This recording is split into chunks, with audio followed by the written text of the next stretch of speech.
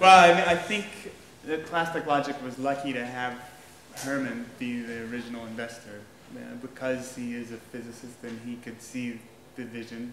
He believed the team could do it, and uh, I guess uh, Amadeus was willing to make deep technology bets, uh, and and we stuck to it. It wasn't easy, and uh, I think it, it, certainly there were some sleepless nights. But fundamentally, uh, as investors, we believed in the team, and, and Hermann would tell you that uh, you know, he believed that always believed that they could get it done. But I mean, I guess faith might be the right answer to the question.